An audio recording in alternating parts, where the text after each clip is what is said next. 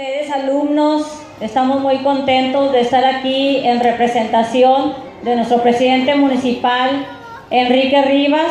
Agradezco a la directora del plantel darnos la oportunidad de saludarlos, de estar aquí, de traer estos beneficios a todos ustedes, niños y maestros también.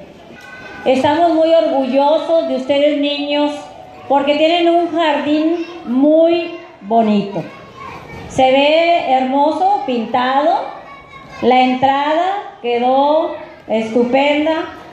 Y pues van a quedar más bonitos sus aulas porque ya cada una de ellas va a tener un baño, que era lo que su directora estaba peleando y pidiendo.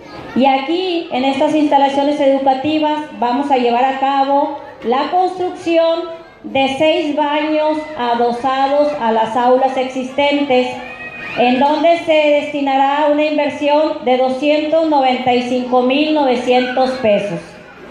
Una escuela en buenas condiciones da confianza a las familias de que sus hijos cuenten con un lugar seguro, con un lugar hospitalario, donde pueden estudiar y aprender mejor.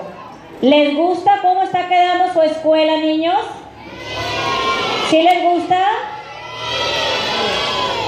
Bueno, todo esto gracias al apoyo de nuestro presidente y claro de nuestro gobernador, el licenciado Francisco Javier García Cabeza de Vaca.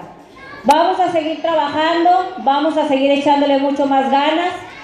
Es prioridad del presidente municipal la educación. Por eso estamos preocupados por atender a todos y cada uno de estos planteles. Muchísimas gracias a todos y felicidades.